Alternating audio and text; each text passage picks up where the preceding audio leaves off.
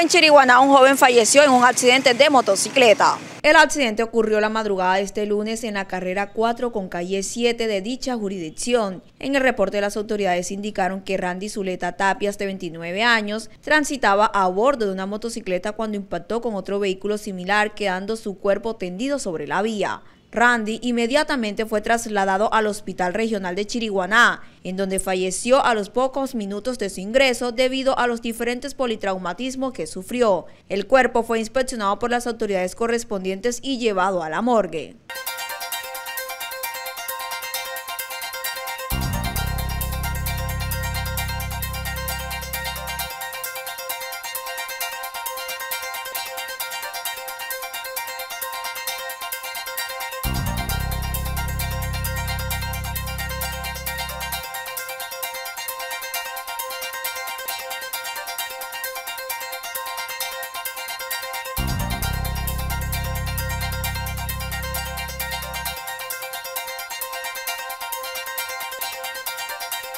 En el grupo empresarial Carpio, conformado por Carpio Firma de Abogados y Carpio Bienes Raíces, contamos con un equipo capacitado para brindar los más eficientes servicios de asesorías, consultoría, interventoría en el área legal, así como el área de la administración de inmuebles.